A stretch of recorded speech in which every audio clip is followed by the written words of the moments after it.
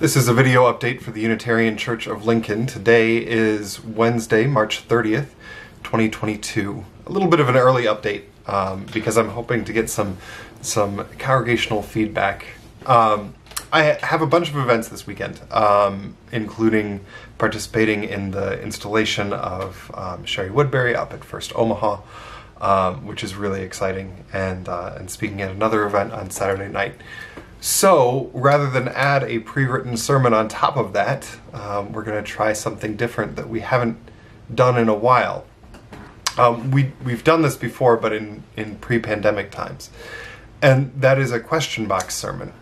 So, on Sunday, as part of the sermon, um, we'll take some time at, at, the beginning of the service to uh, invite questions from the congregation. We'll invite you to write down questions um, that, that you want addressed in the worship service.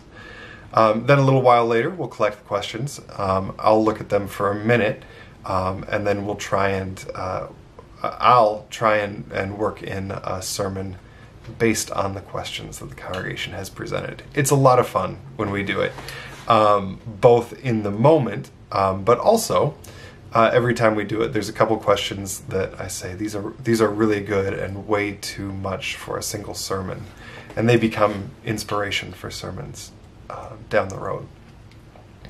So the reason that we're putting this up now and not Friday um, is twofold. One, start thinking about your questions now, and two, if you are so moved, comment in the in the um, comments for this video with questions you'd like to uh, like to see us take up on Sunday. Um, that'll give you a chance to formulate those questions a little bit ahead of time, and, and frankly, me a chance to, to at least glance at some of them ahead of time.